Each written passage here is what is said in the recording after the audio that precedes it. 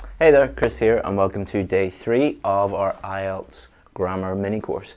So make sure that you check out day one and day two. You'll find them either on Facebook or YouTube. There's some really, really important information in there, but I think this one is going to have the biggest impact on scores because we're going to show you exactly what to do to improve your grammar and specifically how to improve the accuracy of your grammar.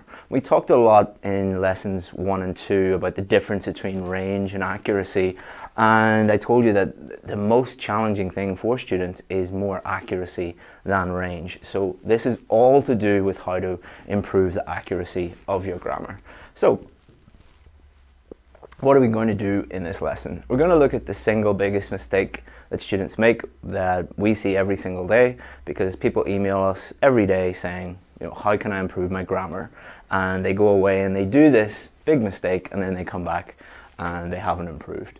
We're going to give you a, a little bit of a talk on strategy and how to think strategically about improving your grammar and then we're going to go into step by step how to improve your grammar. So the single biggest mistake that we see is trying to improve your grammar by reading a whole grammar book. So we get, let's say, 10 to 20 emails a day from students, and that goes something like this Hi, Chris, tell me how to improve my grammar. And we actually give them this grammar improvement plan. And then they reply and they say, I don't want that. Will you just tell me a grammar book?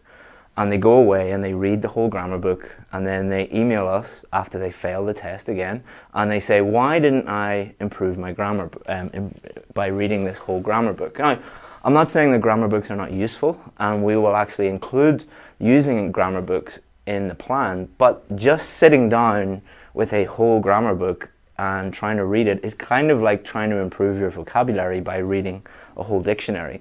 Uh, for one, it's very, very boring. You're not going to get through a whole grammar book in one go. You're going to lose focus because it is incredibly boring. Um, and also, I'm going to show you in a second, you need to be more strategic than just getting a whole grammar book and reading the whole thing, because it's a big waste of time if you actually do that. So, let's look at an analogy. All right, so imagine you go to the doctors and you say, I feel unwell. All right. So the doctor wouldn't say to you, oh, well, you feel unwell, just, you know, go out the back and we'll shoot you in the head and that, that will be the end of it. No, what they would do is they would try and figure out the part of your body or the system or exactly what is wrong with you. So imagine you have a problem with your liver, all right? Imagine you drink too much alcohol. They're not going to try and work on your teeth they're not going to try and work on your eyes. They're not going to try and work on your skin or your heart. They're principally going to focus on the liver because that is the actual problem. So what a lot of people do is they, they think that improving their grammar, the best way to do that is to read the whole grammar book. You need to be a lot more strategic about that in the same way that a doctor would be strategic and find out exactly what is wrong with you. So let's say I go into the doctor's and I say, I'm feeling really unwell, the first thing they would do is identify what the actual problem is. So the actual problem is my liver. And then they would tell me what to do. So they would say, quit drinking. They would say, lose some fat, maybe. Maybe my liver is too fatty. And then they maybe say, exercise to lose some lose some fat from my liver. But then, once they've identified that and they've told me what to do, it's up to me to then go and do these things. So I have to quit drinking. I have to lose fat uh, by exercising and eating more healthy. And if I don't do these things, this is not going to fix anything. It's going to, I'm going to remain sick. So if you just read a whole grammar book, but you don't actually do anything with that grammar book. You don't actually do any practice or actually try and fix anything or learn the actual rules. You're just sitting reading a grammar book and not really thinking about it. It's exactly the same as going to the doctor and them telling you what to do and you're not doing it. we'll come back to this metaphor at the end. So, step one, just as going to the doctor and finding out what is actually wrong with you, the first stage the first step in the improvement plan is identify your main weaknesses. So there's no point in trying to improve every area of grammar. And this is not students' fault for because a lot of this comes from textbooks and courses. If you go to a textbook, what they do is they don't tell you your specific areas of weakness, they'll just teach you everything about grammar. If you go to a course in your local area, they'll, and it's a grammar course or a general English course, they won't often tell you exactly what you need to work on and just focus on that.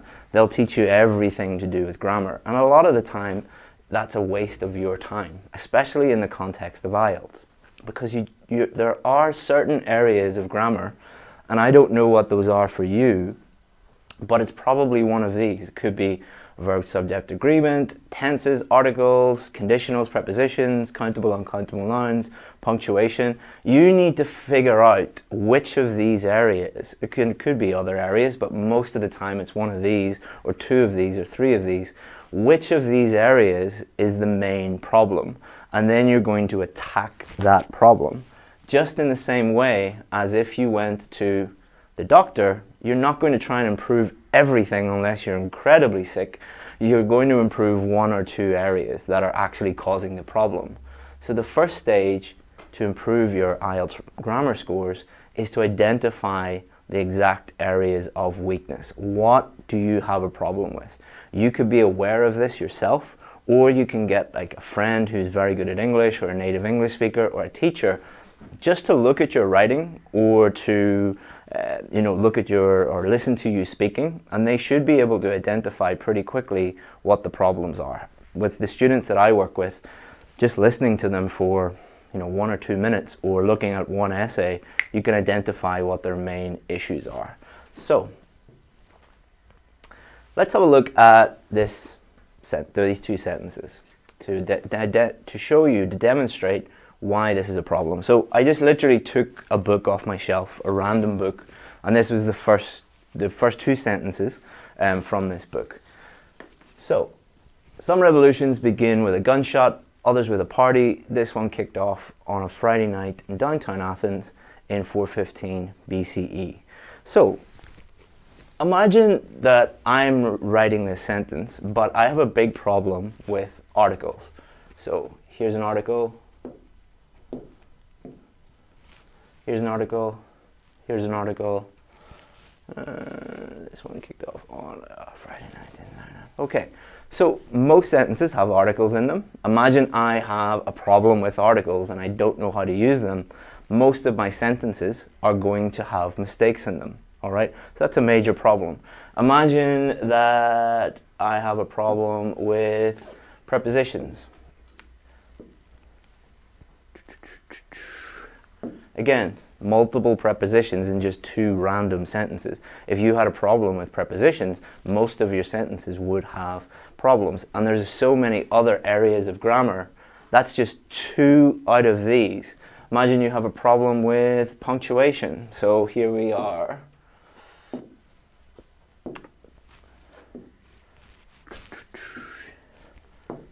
So those are just three areas. Imagine you really struggle with those three areas, articles, prepositions, and punctuation. You would have multiple, multiple mistakes in multiple sentences. You are not going to be getting a seven or above in your writing or your speaking if that was the case. So what would we do? We would attack those areas. So let's say, for example, you need to work on this, you need to work on this, and you need to work on this. But you're pretty good at this you're pretty good at this, you're pretty good at this, that's no problem, and that's no problem. So what we've done is in, instead of focusing on everything, we're just targeting our weak areas. In exactly the same way that a doctor would treat a patient, they would attack the weak areas or treat the weak areas. And that is what you're going to do. That is the first step. Step two, learn the rules of that grammar. Grammar is simply the rules or the law of a language. All right? That's all it is so it's not very uh, interesting, it's not very sexy, it's not very you know, fun, but it, that's what it is. It is the law of the language, it is the rules of the language. But luckily, rules can be learned. All right, law, the law of something can be learned. It is pretty easy to do it. You just have to put the work in and do it. I'm a former lawyer. I can tell you that it is not that complicated. You, you just have to sit down and learn the rules of something. And there's a huge amount of online resources waiting for you. British Council has some great um, free resources and just breaking down the rules um, in, in particular areas of grammar. And all you have to do is look at them. Or you can go and get a good grammar book. Most grammar books will be pretty much exactly the same because they're talking about exactly the same thing, the rules of that grammar. Another way to think about it is to use logic, IFTTT. Some of you will know what this means. If this, then that. It's a really good way to think about like, programming language. If you're a programmer, and this is a good way to think about it, for example, you could apply this to articles. Do I need an article before a noun? If you don't, zero article. If you do, then it's going to be either a definite article, the, or indefinite article, or it could be a, or it could be an. Within these, there's so many if this, then that. For example, if it was United Kingdom, all right, that is a group of nations, so you're going to put the, the United Kingdom, because that's the rules, the United States, the Philippines. Or if you are going to, let's say, I'm going to see a movie, there is a rule on why I say a movie instead of the movie, or zero articles. And you can break it down into this kind of logical way of thinking, think, uh, thinking about things, or just look at the rules. Um, it's not terribly uh, exciting, but it has to be done. Um, so again, looking at this, why, let's say we're looking at articles again. Why are we going to use this one here? Why ah? Why here? Uh, is there any other articles? So why are these uh, the indefinite article a instead of an? Why is it a instead of the? Why is it zero article? There are rules, definite rules that you can look up and reference that will tell you why that is. You could do it now in two seconds by Googling it, Googling the rules of that and thinking about it. And that's what you have to do, I'm afraid. Um, again, not terribly exciting, but it's there for you if you want to learn it. And what happens is a lot of people who are frustrated with learning grammar, the main issue is they just don't want to learn the rules. They want to learn a quick fix or get a quick, uh, like a hack or a shortcut. There's no way of doing that. You can't immediately learn all the rules of, of an, a specific area of grammar um, by, by you know, learning some quick trick. You just have to sit down and, and work them out. Step three, practice those rules. That's just the first step, sitting down and, and figuring out what the rules are. Then now you have to practice them because if you don't practice them, you won't be able to use them. And um, because when it's not testing your knowledge of all the rules, it's testing your ability to use those rules. And you, luckily, you'll find a huge number of free practice activities online. Ask Google. Don't ask me. I'm not Google. Google knows a lot more than me. Ask Google and go and find article practice activities, preposition practice activities, present tense, past tense, whatever you want to learn, just put it into Google and you'll be able to find it. It's pretty easy. Step four, produce. Try and produce error-free sentences. So you're going to learn the rules, then you're going to practice those using practice activities, but then you need to produce full sentences using that area of grammar. If it's something like articles or prepositions or punctuation, pretty much every sentence is going to contain them, so it's all you have to do is produce sentences. So you can do this when you're doing a writing practice or your speaking practice, and if you don't do that, you're never going to be able to do the thing on test day. Because it's, remember, it's not a knowledge test, it's a doing test. Can you produce the actual grammar in sentences? So you need to work on that. And step five, feedback. All right. So when you produce the sentence, are you using that area of grammar correctly? And you can use self-correction. So you could, uh, one thing that you could do is use your phone and just literally every phone these days has a recording option download an app that allows you to record your voice and get some practice questions and then listen back and self-correct those areas of grammar. Or you can do a essay under exam conditions and then look back and try and figure out what the mistakes are. Or you can hire a teacher, or you could use you know, a friend or a family member who is a, is a very high level English learner or a native English speaker, if you know one of them, to give you feedback on that. But the key is to view each mistake as an opportunity. Every mistake that you make is an opportunity for you to improve your grammar. You should see mistakes as an, a really good thing. So we often work with, with students and we send them like a full report on their grammar uh, on our grammar course. When somebody joins that, we get them to write us an essay and then we go through and we tell them every single mistake that they made. Um, and a lot of students, when they get that report, like every sentence has multiple mistakes in it, and they're like, oh my God, I'm never going to get better and I'm terrible. It's like, no, this is great. Now you know exactly what is wrong and now you can learn from those mistakes and improve them. So, here is the grammar improvement plan. Identify your weaknesses. Once you have identified those areas of grammar that you need to work on, could be one, could be two, could be three, could be four, but try and maybe limit it to, to the maximum three or four because you don't want to you know try and learn everything. Normally people have one or two areas of grammar that they, they really struggle with and they need to work on. Learn the rules, it's free for you online, you can find that by Googling it or you can get a grammar book. Uh, number three, practice. Again, loads of um, uh, free practice material online and uh, in books as well. Uh, produce produce sentences with that grammar and get feedback and learn from errors. All right. Uh, one thing I just add: do not use artificial intelligence like Grammarly or something like that to try and correct your own. Grammarly is for native English speakers uh, who know when they've made a mistake. Grammarly cannot tell you why you made that mistake and help you figure out why you did that, and that's not really useful. Um, again, you can self-correct. The best way is to actually get a teacher to help you with that. You know, you wouldn't try and fix your own car. You wouldn't try and like if you went to the doctor, you would go to a doctor if you had a medical problem. Why would you try and fix your own grammar if you can hire someone to help you with that? So, exactly the same. We'll go back to this. Imagine I go to the doctor and there's something. There is nothing wrong with my liver, hopefully. Um, but imagine I do and I say that I'm really sick First of all, they would identify that the problem is here.